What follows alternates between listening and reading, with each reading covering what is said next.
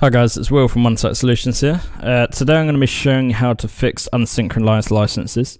This would be caused by maybe a Windows update where AX would be licensed and N4 from 4.2 onwards may have a different host ID then causing it to not be licensed.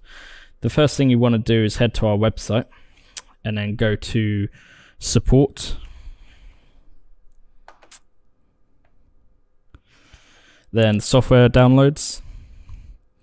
And normally there will be a host ID patch download here, but currently, just as of today, um, our downloads are off the website. So normally there will be underneath Onesight Solutions the host ID patch download, and you just download that. That would then bring up a folder like this. So the first thing you want to do is you want to find a version of 3.8 or lower um, that you're using, or 4.2 um, and just go into this file, find the bit version you're on.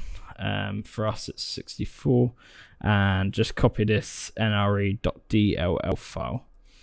Um, and then you want to go into this PC, C drive, Niagara, um, go to the version of uh, that you've selected, go into the bin file, and just pop this file in there. You want to replace the one that's currently in there. Um, that's all done. And then it will synchronize um, your active license. So I'll just show you now.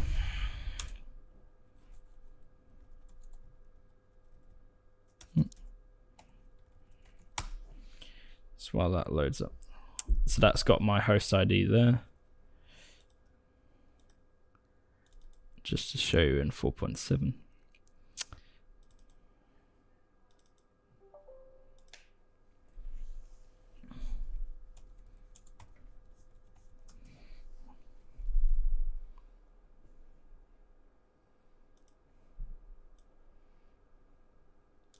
Cool, so now it's synchronized.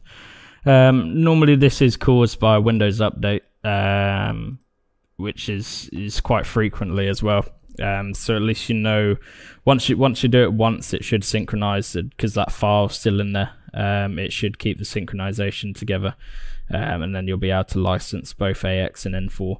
But with unsynchronized licenses, one of your counterparts is not going to work. Um, I.e., it's most probably N4 that would be down, uh, but sometimes in in certain cases it's AX as well. Um, but yeah, that's that's been it for today, guys. A nice, quick, easy one. Um, be sure to check out our uh, YouTube channel um, for other how how to guides and just general good videos. Thanks.